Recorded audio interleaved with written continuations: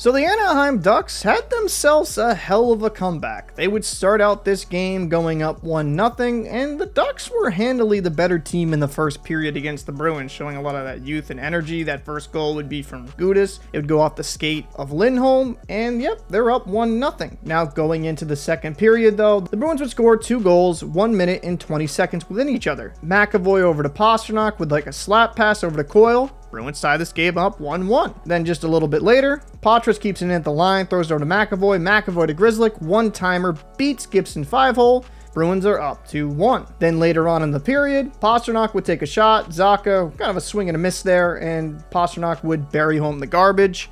The Bruins are up 3-1, and things are looking pretty good.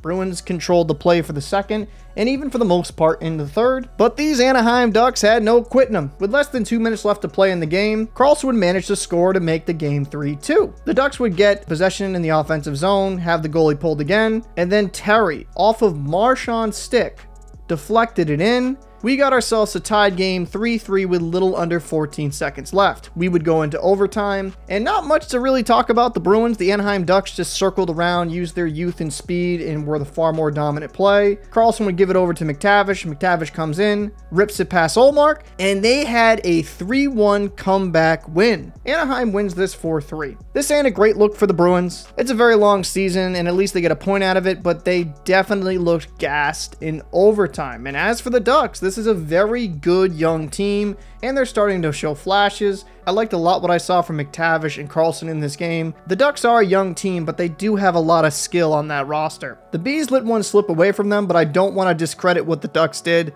They played great when it really mattered.